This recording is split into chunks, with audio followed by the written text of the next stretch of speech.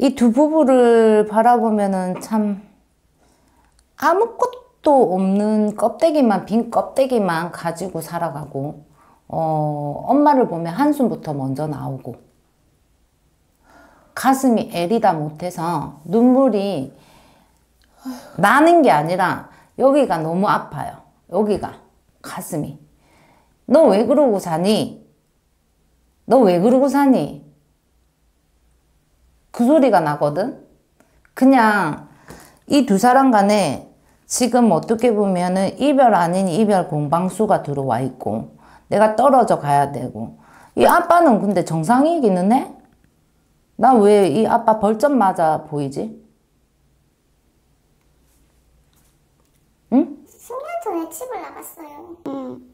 집을 나가서 바람이 나서 집을 나갔는데 있을 때 나갔는데 지금 들어와 반 병신이 돼서 개 털털이가 돼서 들어왔어요 지금 집에. 몸 아파서 아, 근데 지도 못하고 반병신된 거를 또 god었어? 왜? 애가 있잖아요. 애한테 아빠 없는 자식 만들고 싶지 않잖아요 그래도. 엄마 엄마 사랑하니?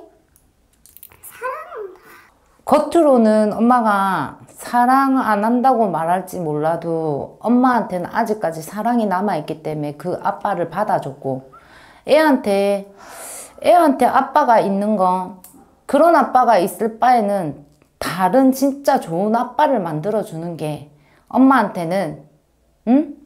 그 아이한테는 더 행복한 삶을 살 수 있는데 뭐가 그렇게 한 가정을 꾸리고 싶다고 그 끈을 못 놓고 어? 그 사람 하는 말만 믿고 병신처럼 병신 몸으로 병신은 몸으로 병신은 아빠가 됐을지 몰라도 정신적으로 병신은 엄마가 됐다 그러거든. 어? 그걸 왜 계속 끌고 있어야 되는데 엄마? 그잖아. 그, 이 아이가 태어남으로 인하, 이- 인해서 엄마 아빠가 분명히 이별이 바로 됐을 거예요. 그 전에도 이 남편은 이 여자 저 여자 다 만났을 것이고 지금 이 대주 옆에는 몸이 아프다가 지금은 좀 나아졌어요. 집에 들어와서 이제 1년 반 간호를 해서 지금은 그나마 좀 걸어 다니고 사람 보시러 하- 하거든요 지금. 그게 이제 또 생각이 나니까 스물스물 또 내가 사랑하는 사람이니 어쩌니 하고 쳐 돌아다니는 것 같네. 네. 그래 제 속이. 천하제 일의 개새끼가 탄생을 했네. 응? 엄마. 내가 전 보면서 웬만하면 욕을 안 하려는 데 있잖아. 요즘은 너무나 정신적으로 도라이들이 많아요. 어. 어, 애인이 없으면 바보라 하대. 요새는 애인이 없으면. 그러니까 부부지간에도 서로 각자 애인이 있고 그렇다 하대. 근데 그 진짜 정상적인 삶을 살아가는 사람들은 그런 게 없어요. 때로는 뭐 진짜 뭐 집에 사람들이 그러니까 안 사람이 제대로 부인이 제대로 못 해주고 이러면은 밖으로 놔둘 수 있고 그런 사연들도 있는 분들도 있, 있지만 엄마 같은 사람을 볼 때 불쌍해. 왜? 오로지 그냥 울지 마. 엄마 울지 마. 오로지, 오로지, 응? 아빠의 말에는 끔뻑 죽어가면서 그 사람 말이라고는 다 믿고 기다리기만 했네. 10년 세월을. 근데 반 글베이가 돼가지고 와가지고 살려달라고 찾아왔더나. 고마 죽구로 낳아놨지. 어? 그게 무슨 사랑이고 믿음을 가지고 있다고 그 사람을 믿고, 어? 아 내가 바보지. 자, 엄마. 이번에 마지막 기회예요. 마지막 기회예요. 그러니까 이 끈을 놓으세요. 놓을 자신이 없다. 내 마음이 갈팡질팡 한다지만 이 인연의 끝을 놓고 나면 엄마가 탄탄대로를 걸을 수 있는 그런 1, 2년 안에 길이 열려요. 그러니까 그 길로 다시 그냥 들어오세요. 원래의 길로 돌아오세요. 엄마는 지금 너무 돌아 돌아왔거든.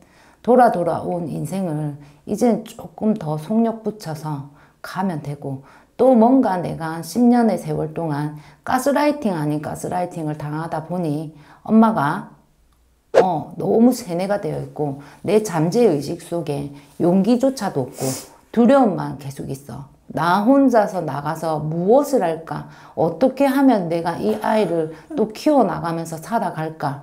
음, 근데 충분히 길은 내가 열어줄 수 있고, 엄마. 어? 엄마. 열어줄 테니까, 고마, 진짜 내 길로 오세요. 진짜 괜찮을까요? 엄마 지금 이제 그만하자 소리가 목구멍까지 찼잖아. 아니야? 맞아. 응. 맞는데 용기가 없어요. 내가 뭐에 대한 또 배신감, 발등에 불 떨어진 것처럼 뭔가 뒤통수를 크게 맞은 것처럼 그렇거든, 지금. 응? 엄마가? 무슨 종이 쪼가리가 자꾸 보이고 그런단 말이야. 뭐야? 남편이 진짜 뭘 쏘는 것 같아요. 삼지가 이제 제집 나가서 들어와서 이 서류 가방이 하나 있더라고요. 그 서류 가방 정리를 하다가 보니 종이가 두 장이 있길래 봤거든요. 근데 그 종이 저한테 쓴 글이랑 또 같이 살던 여자한테 쓴 글이랑 두 장이 나오는 거예요. 근데 내용이 똑같은데 단 한 가지. 애들 이렇게 잘 키워줘서 고맙다. 라는, 유서 썼더나? 네. 참 도라이도 도라이도 이런 쌍도라이가 없네. 똑같이 썼더라고요. 엄마, 그걸로도 모자라서 내가 고민을 하고 있다는 거는 엄마 더 이 늪에 빠져가지고 허우적거리게 생겼거든. 어? 이제 그만 놓으세요. 놓는 게 답이니까. 그 사람 개버릇 난 못 줘요. 쓰레기는 쓰레기통에 갖다 버리는 게 맞고 분리수거를 하는 것조차도 안 됩니다. 고마 태워 버리세요. 그만하세요. 나 이혼하는 거 반대하는 사람이거든요.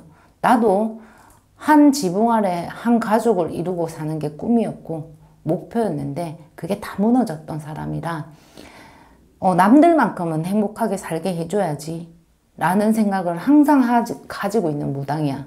근데 엄마 그냥 그런 아빠는 아이한테도 정신적으로 걔를 너무 아프게 만들 것 같고 엄마도 시간이 가면 갈수록 더 아플 것 같고 더 바보가 되어 갈 것 같고 이 똑 부러진 사람이 어?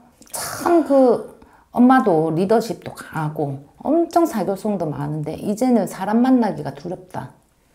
이제는 내가 답을 줄게 엄마. 다시 엄마의 길로 돌아오세요. 엄마의 모습으로 돌아오세요. 내 이름 석자 말했을 때 사람들이 어, 그게 진짜 사람 좋고 뭐 어쩌고 저쩌고 얘기했던 그 칭찬이 난무했던 그 시절로 다시 돌아가고 싶지 않나. 가라. 엄마, 너무 가고 싶죠, 지금. 가자. 가는 게 맞다. 알겠지? 그, 이 천하 제일의 개삐는 보내고, 응? 그냥 거기 가도 또 병신 되니까 자꾸 떨가버리라고 내가 아까부터 염주를 들고 있었는데 계속 염주가 손에서 떨어진다는 거는 걔를 버리라는 뜻이야. 아시겠어? 어? 고민하지 마. 고민 고민하지 마. 알겠어, 엄마? 어. 힘내. 네.